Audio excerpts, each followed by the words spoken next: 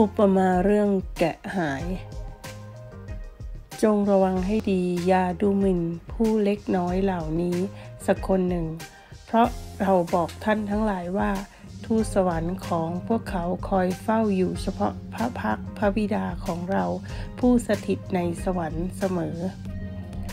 พวกท่านคิดอย่างไร ถ้าชายคนหนึ่งมีแกะอยู่ร้อยตัวและตัวหนึ่งหลงไปจากฝูง คนนั้นจะไม่ละแกะ 99 ตัว ไว้บนภูเขา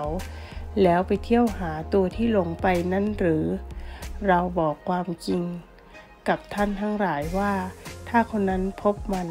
เขาจะมีความเปรมปีมากยิ่งกว่าที่มีแกะ 99 ตัวที่ไม่ได้หลงไปนั้น เพราะพระบิดาของพวกท่านผู้สถิตในสวรรค์ ก็ทรงเป็นอย่างนั้นแหละ พระองค์ไม่ทรงปรารถนาให้ผู้เล็กน้อยเหล่านี้สักคนหนึ่งพินาศไปเลย